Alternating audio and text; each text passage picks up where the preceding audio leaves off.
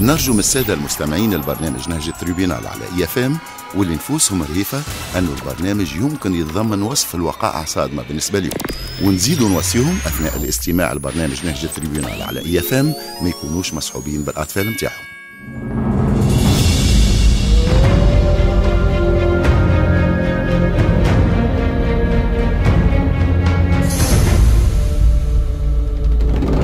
نهج ال Tribunal. على IF مرحبا بكم في الموسم الخامس من برنامج نهج ال Tribunal وقضية اليوم باش تهزنا لبنان. لبنان الأخضر كما غنات عليه فيروز الوقائع صاروا في إحدى قرى إقليم الخروب في فضاء الشوفية التابع لمحافظة جبل لبنان.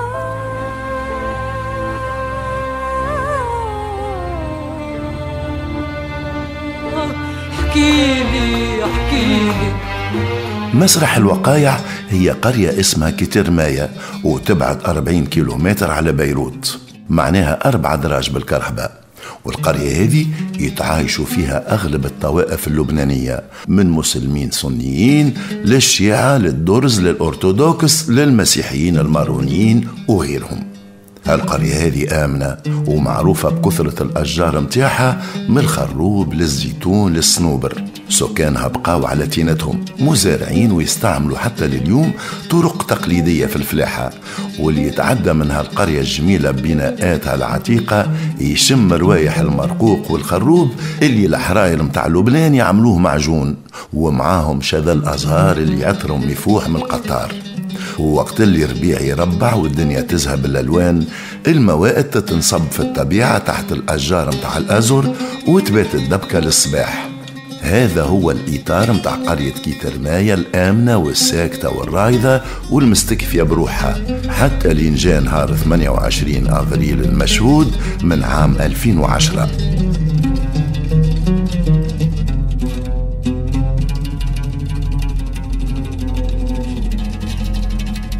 نهار 28 أفريل بالتقويم الميلادي شهر أفريل وبالتحديد طاح يوم اربعه وهالقرية تبدأ في العادة فارغة وأغلب الناس في الحقول وإلا في بيروت في خدمهم.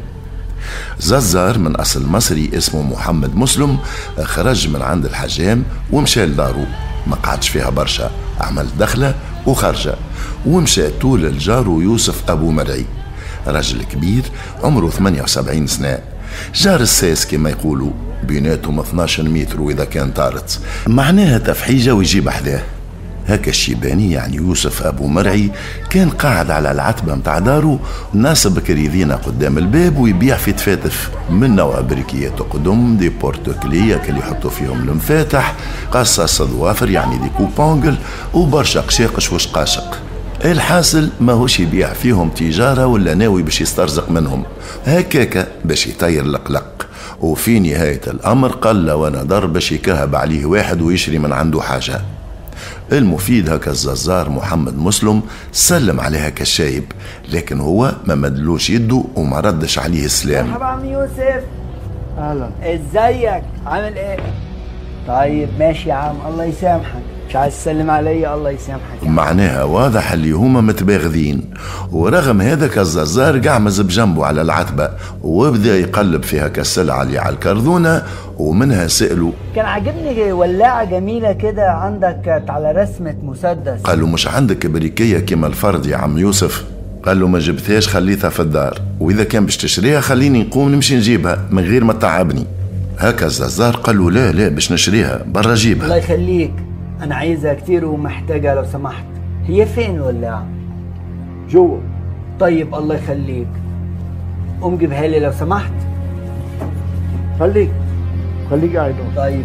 لهنا هاك الراجل الكبير يوسف أبو مرعي قام بالسيف باش يمشي للدار وكان تقريبا خطوة لقدام والأخرى التالي. ما عينوش. وواضح أنه الززار هذا محمد مسلم غير مرغوب فيه بالكل.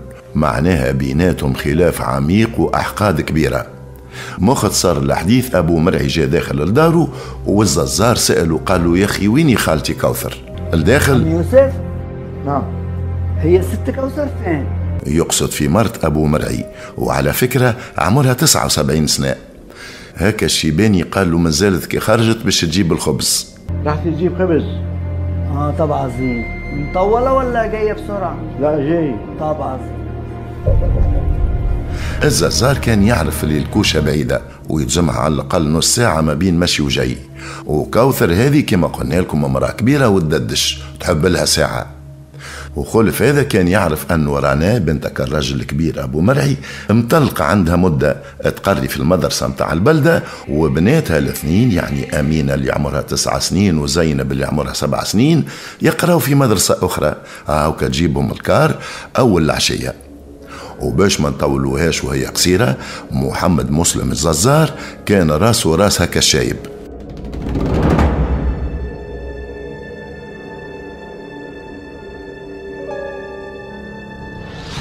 في تواتر الأحداث وفي نفس الإطار أبو مرعي يعني كالراجل الكبير دوب ما حد ساقه في داره يمشي وراها على طراطش صوابعه باش ما يفيقش بيه.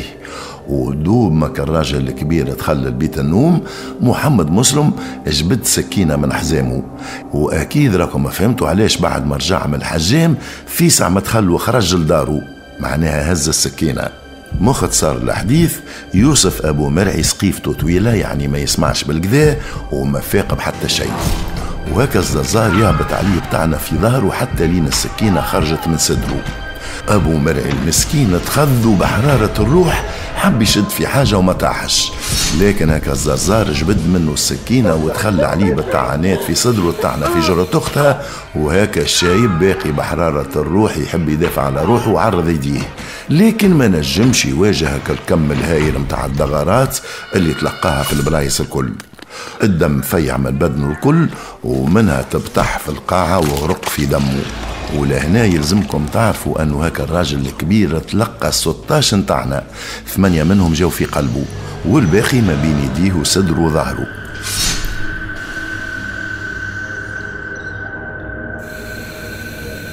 في تسلسل هالأحداث أكيد راكم تتساءلوا علاش هكا الززار اقتل جاره أبو مرعي. السؤال هذا هو جايكم جوابه لكن اللي أهم منه علاش هكا الززار بعد ما قتل لك الراجل الكبير؟ بقى يستنى. في شكون يستنى؟ في العزوزة كوثر. وما تعداتش مدة طويلة واسمعها كي جات وتعيط من الباب على يوسف راجلها باش يعاونها ويهز معاها القضية.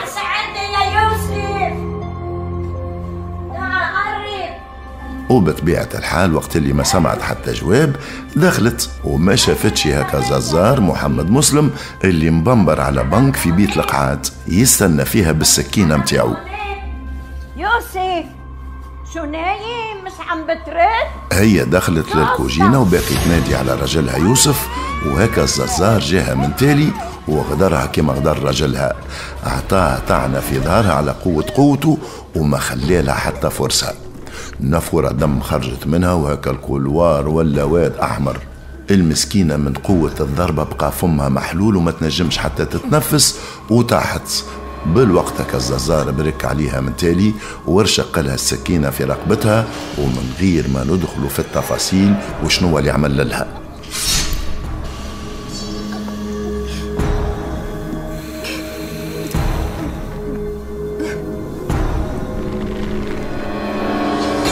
في نفس هالإطار متاع الوقايع هكا الززار بعد ما قتلك الراجل الكبير يوسف أبو مرعي كمل قتل مرته بنفس الطريقة وسد لها 11 طعنة ورجعها تبمبر في هكا البنك والسكينة متاعه في يده.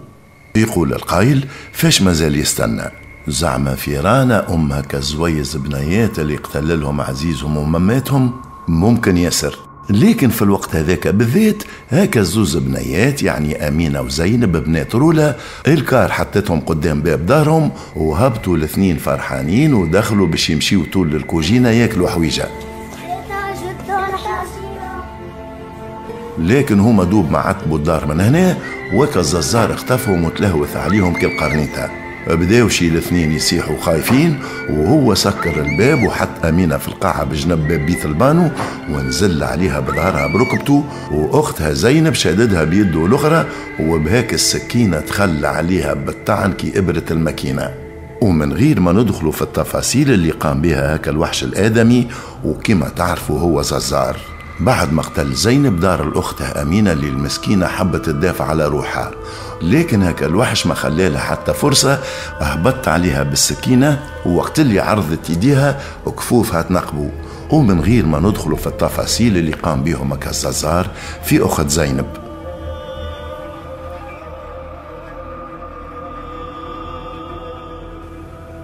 الوقايع اللي سمعتوهم أو بالأحرى المجزرة اللي صارت في هكا الدار يعجز اللسان على وصفها لكن يقول القايل علاش هذا الكل؟ إذا الأغراض بين الكبار إيش مدخل هكا الصغار ملايكة اللي عملت يديهم ولا ساقيهم؟ علاش عزيزهم ومماتهم لقاو هكا المصير؟ وشنية اللي خلى هكا الزازار واللي هو جار السيس يقدم على جريمة بالحجم هذا؟ زعما انتقام؟ وإذا كان انتقام من شكون؟ وعلاش؟ نقاط الاستفهام كثيرة ومتعدة وماهوش هو اللي باش يجاوب عليهم. لأنه بعد ما كمل المصدرة متاعه البشعة بدأ يتسلوس ويثبت فماشي حد في الشارع ومنها خرج. وبالزهر متاعه ما فاق بيه حتى حد خاصة وأنه الدار متاع الجيران اللي مقابلته يحضروا في عرس وبالتالي كتزغريت والغناء وكالحس الصباح بدأ. وهذاك علاش حتى حد ما سمع صوتك البنيات الصغار وقت اللي صاحوا. وباش ما نفوتوكمش بالحديث قبل ما كان الززار يخرج من الدار غسل لك السكينة متاعو في الكوجينة من بعد نحى سوريته اللي ملطخة بالدم لف فيها كالسكينة وحشاها تحت مريول الخلعة وشد الحيط الحيط وفي سعمة الزرف في الدارو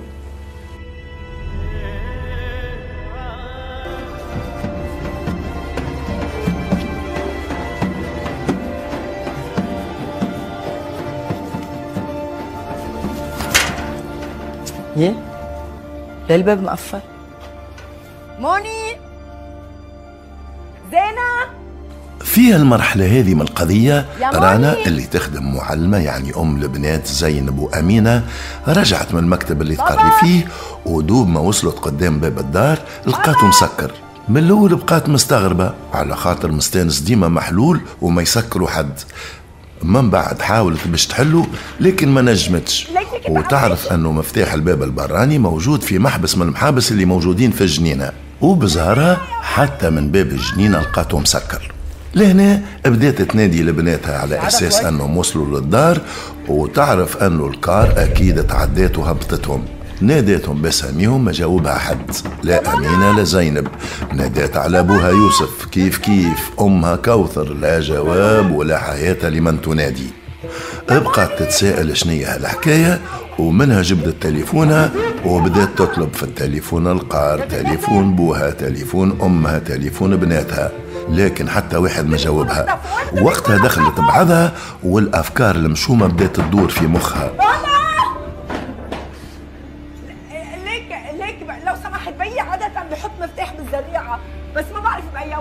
وطول مشيت لدار الفرح المقابلة وخرجت زوز من الجيران وبالسيف ما فهمتهم في وسط الكزيطة والعيطة ومشاو معها. واحد منهم نقز السور وحل الباب ودخلوا. ومن بعد خلعوا الباب الدخلاني ووقتها اكتشفوا هكا البطوار في الدار والضحايا اللي موجودين فيه. رد علي يا بابا يا يوسف! يا يوسف رد يا يوسف!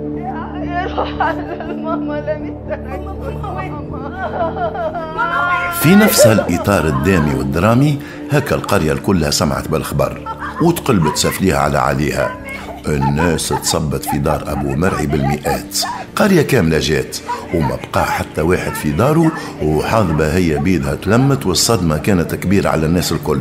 الأسئلة هي بيدها كما سبق وقلنا لكم علاش عائلة كاملة تقتلت بك الفظاعة هذيك. وشكون الوحش اللي قتل امرأة كبيرة وراجل كبير مسنين وزوز بنيات في عمر الزهور؟ وعلاش قام بالفعلة الشنيعة هذيك؟ شنو هو الدافع؟ هذم هما الأسئلة اللي بقاو يتكرروا نهارتها في جو قاتم بالحزن. عمره ما صار في كترماية والغضب والإحساس بالنقمة على مقترفها الجرائم كان باين على وجوه الناس الكل. بدك تبعت لي دورية من الأدلة الجنائية وطبيب شرعي لو سمحت في جريمة قتل صايرة طفلتين فتنوا جدا مقتولين. في تسلسل هالأحداث الأمنيين خلطوا وعاينوا ساحة الجريمة وخذاوا البصمات وهكا الجثث متاع الضحايا بعثوهم للطب الشرعي. على أمل أنه المجرم ينجم يكون خلى بعض الآثار عليهم كيما الحامض النووي متاعه وإلا بصماته وبالتوازي مع عملية التشريح وفي انتظار تقرير الطب الشرعي قوة الحرس قامت بالتحريات متاعها وعملوا بحث جوار.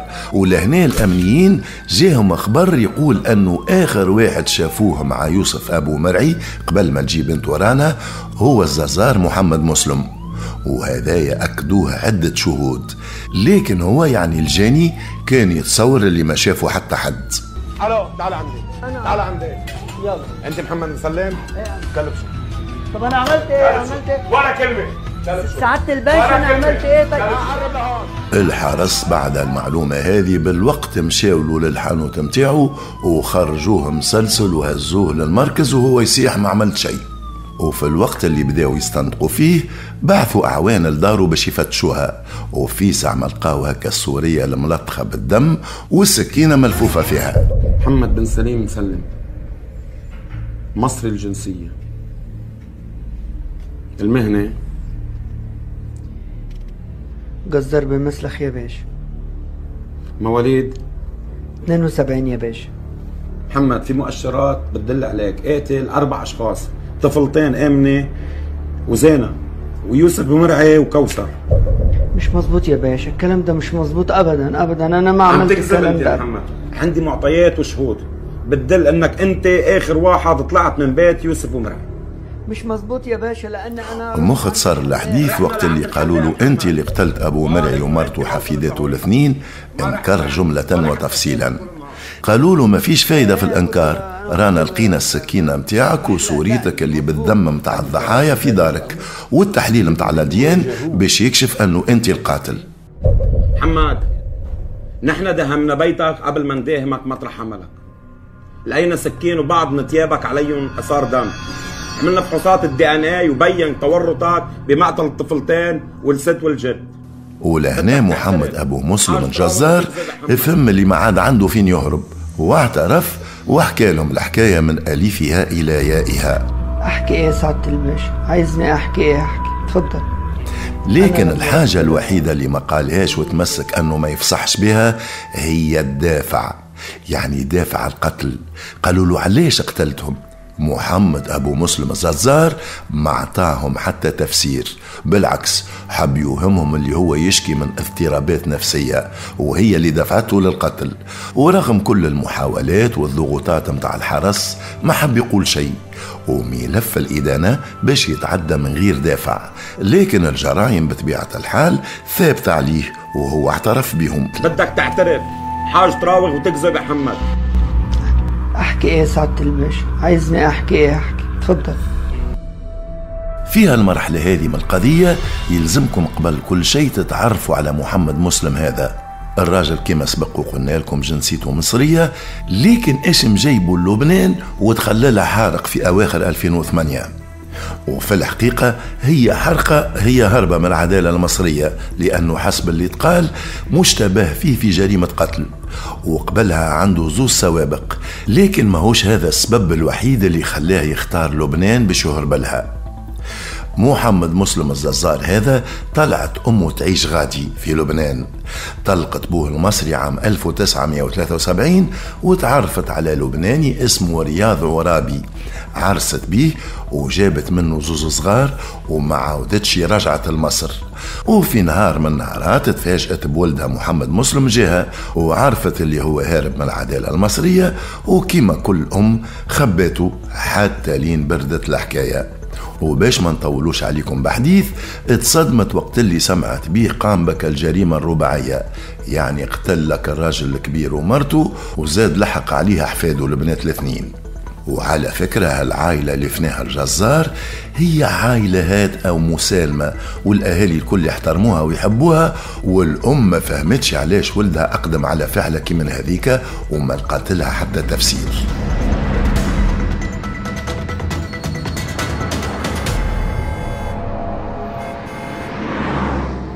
فيها الحقبة هذه من القضية وبعد اعتراف محمد مسلم بما نسب إليه في الجريمة هزوه لدار الضحية يوسف أبو مرعي باش يقوم بروكونستيتيوسيون يعني إعادة تجسيد الجريمة الرباعية اللي قام بها.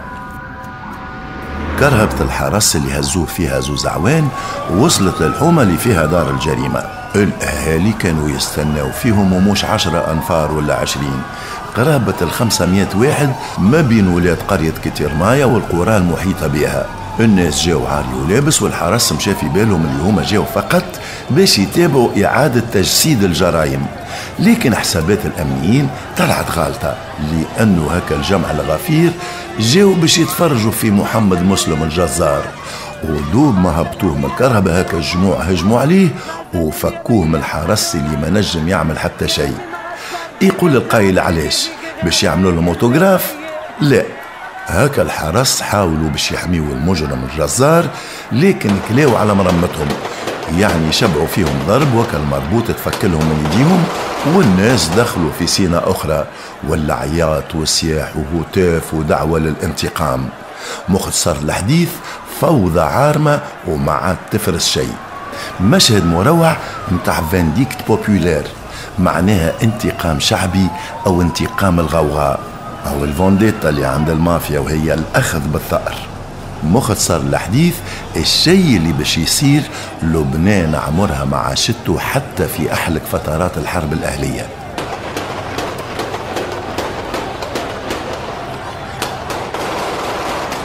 في تواتر هالأحداث وفي نفس الإطار متاع الغضب الشعبي 500 واحد أو أكثر انقذوا عليك الجزار محمد مسلم وكلاوه بالضرب.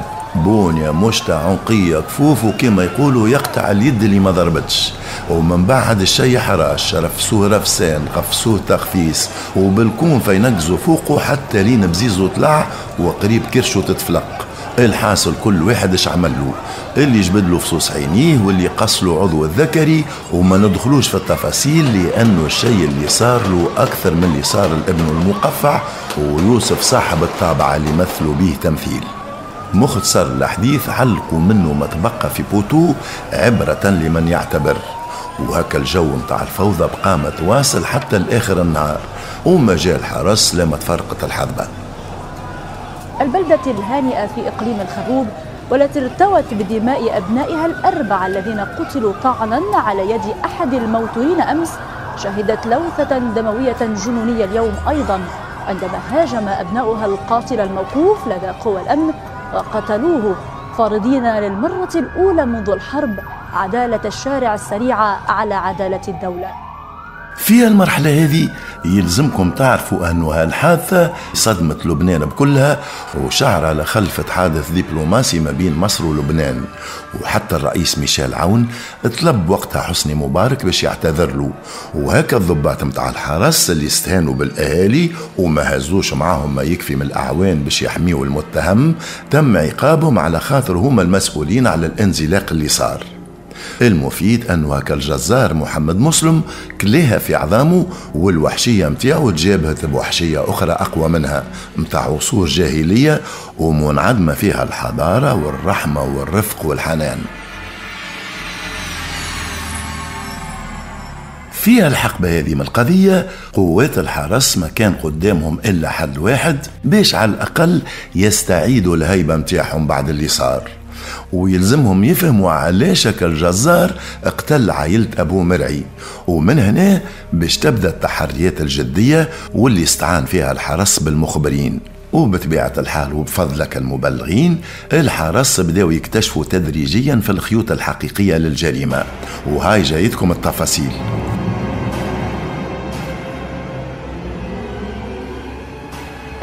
الأسباب والمسبات متاع هالجريمة البشعة باش تخلي المحققين مذهولين.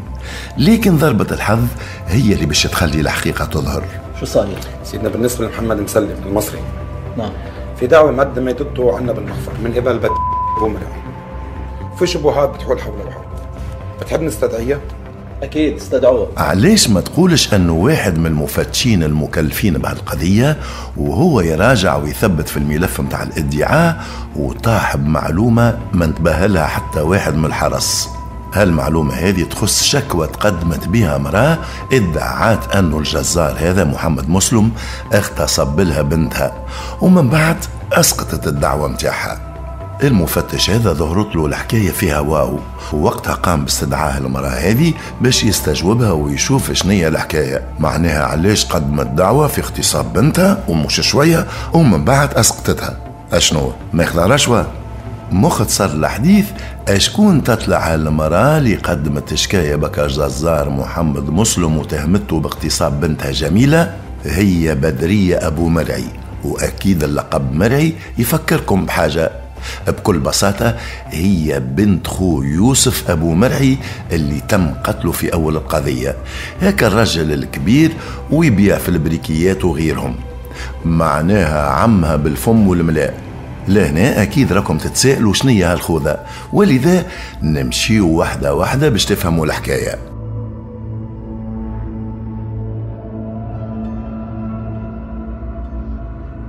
بدرية أبو مرعي كما قلنا لكم هي بنت خو يوسف أبو مرعي معناها عمها وراجلها اللي اسمه ظاهر موجود في الحبس ومحكوم ب 15 سنة على خاطر قتل خوه شقيقه من أم وبوه قتلوا علاش؟ على مشكلة متاع فلوس ومش هذا برك السيد هذا يعني راجل بدرية اغتصب بنته اسمها رولا لكن بدرية ما شكاتش بيه على خاطر واحد متوحش والرحمة لا وينجم يقتلها في أي لحظة هذا حسب كلامها المسألة هذه يعرفوها الأهالي متاع كثير مايا أنت شو علاقتك محمد مسلم المصري الجنسية اللي قتل عائلة عمك يوسف؟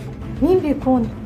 ما خصني فيه بعدين ليش عم تسألني سيدنا؟ أنت كنت رافع عليه دعوة إنه اغتصب بنتك ورجعت سحبتيها والدعوة بعدها عنا. كيف ما بتعرفيه وشو مخبي عليه ولهنا وقت اللي المفتش استدعى بدرية واستجوبها وقال لها شنية علاقتك بمحمد مسلم الجزار. قالت له اللي هي ما عندها بيه حتى علاقة وإنما مرة اعتدالها على بنتها وهي جات شكات بيه ومن بعد سامحته على خاطر أمه جات لحلحت بها وخافت لا يرحلوه لمصر. المفتش زاد سألها قال لها هل جزار هذا مش يسكن معاك فرد بلاس؟ قالت له إيه؟ إيه مزبوط قصة قديمة سيدنا هاي. قصة قديمة. والسؤال متاع هالبحاث ما كانش بريء بالكل. على خاطر جاته معلومة دقيقة على علاقة خناة ما بين الزازار وبدرية. المعلومات ما يعرفوها كان قلة قليلة جدا من أهالي هكا القرية. وشكون أكثر واحد عنده علم بالحكاية هذه متاع بدرية؟ ما نسبقوش الأحداث.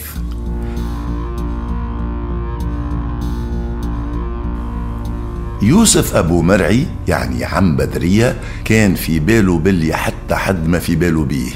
يعرف الشقيقة والرقيق على بنت خوه. يعني بدرية ويعرف راجلها اللي اسمه ظاهر من قبل ما ياخذها وكان صاحب سوابق وشريمة متاع بلاه ووحش ضاري لا عهد لا ميثاق وكما حكينا لكم حتى بنته ما سلمتش منه. ويمكن راهو اعتدى على بناته الاثنين. أما الخبر ما خرجش. ولهنا يلزمكم تعرفوا أنه يوسف أبو مرعي ما كانش بالكل موافق أنه بنت خوه تاخذ ظاهر هذا لأنه نهار في الحبس وساعة لبرا. مختصر الحديث بدرية هذه تعرفت على محمد مسلم الززار دوب محرق من مصر للبنان وجا سكن بحذاهم في البلاص. ولهنا هكا المفتش البحاث وقت اللي سأل بدرية وقال لها اللي هو عنده معلومات على وجود علاقة خناق بينها وبينه نكرت جملة وتفصيلا. وقالت اللي هو غر لها بنتها وتفاضى بها نهار وهزها للشقة متاعو على أساس قال لها باش يعطيها قضية تهزها لأمها. وفي الواقع كان ناوي باش يغتصبها وهذاك هو اللي صار. المفتش زاد قال لها علاش سحبت الشكوى متاعك بدرية سكتت. لكن حسب التقصيات والمبلغين سحبت الشكوى متاعها على خاطر كانت على علاقة مع محمد مسلم وكان بالحق عشيقها ويبات ويصبح بحذاها. ويوسف أبو مرعي عمها في باله بالشيء هذا ورغم اللي الحكاية صايرة في السكريتو سبق أنه الشايب نبه على بنت خوه وقال لها لو كان تستمر أمورك مع هالززار هذا محمد مسلم راني باش نمشي لراجلك في الحبس بالذمة ونحكي له على كل شيء.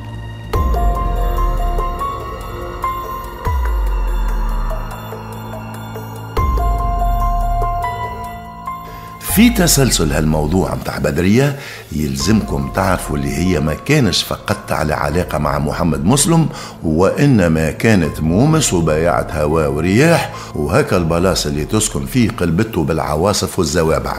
معناها تتعاطف الدعارة وما تتقلقش بالكل وقت اللي تدخل رجال تبيتهم بحذاها بحضور بناتها. وبطبيعة الحال مدخلتهم ما همش باش يقطعوا معها الحلالم. هالشي هذا يعرفه عمها يوسف أبو مرعي وكان مستعد باش يقولوا راجلها في الحبس من غير ما نذكروا لكم اش ينجم يعمل وقت اللي يسمع الخبر هذا.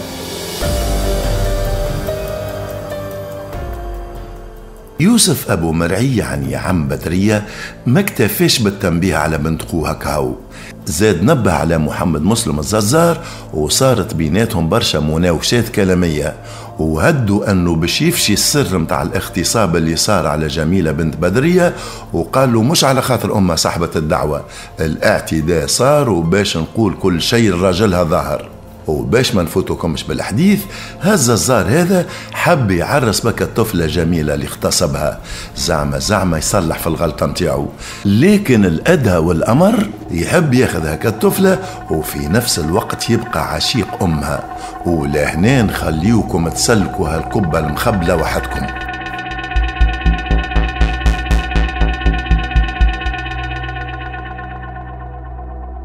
في المرحلة هذه يلزمكم تعرفوا أنه الحرس متاع قرية كترمايا كانوا على علم أنه الخبر ما يخرجش من السكان بسهولة لأنه الأهالي ما يحبوش الفضايح وبرشا حاجات مسكوت عنها كما في كل البيئات العربية المغلقة على نفسها. آه كيصير العجب وما تسمع حتى شيء. لكن ملخص الحديث أنه هالمجزرة اللي صارت وحسب الحرس فيها تحريض. معناها حطوا يديهم على الدافع اللي خلى محمد مسلم يقتل عائلة أبو مرعي والدافع هذا وراه بدرية. معناها هي اللي حرضته على قتل عمها.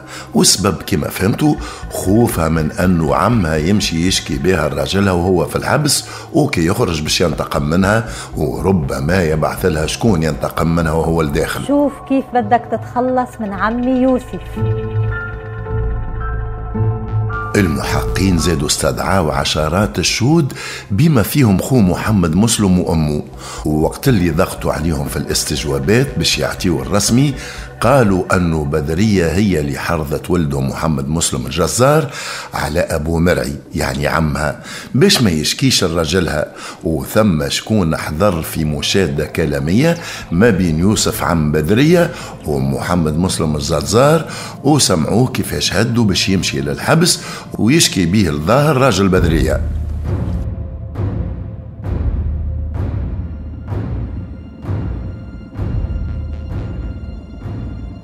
في إطار هالتقصي والأبحاث والاستنطاق بدرية تمسكت بالإنكار وقالت خاطيها لكن وقت اللي تعديت قدام المدعي العام متاع جبل لبنان وواجهها بالشهادات متاع أهالي كتر مايا ما لقات ما تقول أما ما استعرفتش وشدت في الإنكار. وهذا ما منعش أنه ملف الإدانة تحول للمحكمة بتهمة التحريض على القتل. في نهاية هالقضية وفي المحاكمة النيابة العمومية طلبت عقوبة الإعدام على بدرية واعتبرتها مذنبة أكثر من منفذ الجرائم يعني محمد مسلم الجزار. والقاضي لسمعها والأعطاء أهمية للدفاع وربما ماذا به لو كان حكم عليها بالسجن مدى الحياة نظرا لهول الجريمة وبشاعة مخلفتها وما أحدثته من انزلاقات خطيرة كما الإعدام الشعبي اللي صار لمحمد مسلم الجزار. حكم باسم الشعب اللبناني بدرية في نهاية الأمر باش يتم الحكم عليها ب 15 سنة حبس. وإذا دافع الجريمة تعرف ابقى استفهام كبير وحتى حد ما قالوا إجابة. علاش محمد مسلم كالجزار ما اكتفاش بقتل أبو مرعي؟ علاش بقى يستنى في مرته وحفيداته الاثنين واختلهم كان ينجم يخرج من الدار قبل ما تجي كوثر ويجنب هكا القرية مجزرة ماهيش في حاجة لها